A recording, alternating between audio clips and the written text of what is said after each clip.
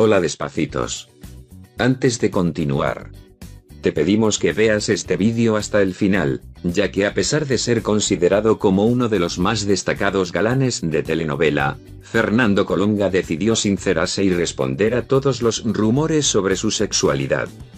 Fernando Colunga, quien logró enamorar a muchas espectadoras con sus personajes en proyectos como Esmeralda, María la del barrio o Abrázame muy fuerte.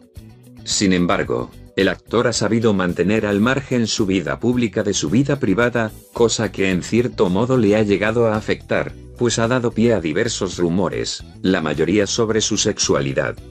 Aun pesar de que Colunga llegó a tener romances con Araceli Arámbula Italia, fuera de ahí, jamás se le volvió a encontrar con otra pareja, ni intenciones de casarse o tener hijos, lo que avivaron todavía más los rumores de su orientación sexual. Aunque muchos se preguntan sobre las preferencias del artista, casi todos pasan por alto que él confesó su opinión respecto al tema hace ya 12 años. Durante una entrevista con Gustavo Adolfo Infante, se le cuestionó directamente sobre si era gay o no. Si me lo preguntaran les contestaría no y ya. Y si fuera diría sí, ¿y? Oye, Fer, gay.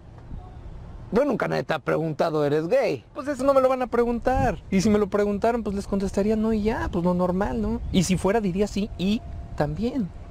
En dicho programa, Fernando mencionó que a lo largo del tiempo ha tenido que escuchar toda clase de chismes y rumores respecto a su persona. El que más recuerda es sobre un posible amorío con un ejecutivo de Televisa. Oye, que estás en Televisa porque qué? Que porque eh, uno de mis máximos romances es un gran ejecutivo de ahí. Bueno, yo te puedo decir todo lo que he escuchado, que además a mí digo...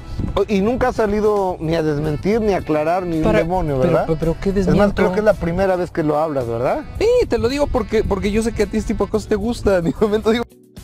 O tengo un clon o le produzco algo muy especial a alguna gentes, dijo entre risas. Mira, yo estoy convencido, o tengo un clon, Ajá. o de verdad le produzco algo muy especial de momento a algunas gentes. Suscríbete para más noticias del espectáculo y comparte este vídeo.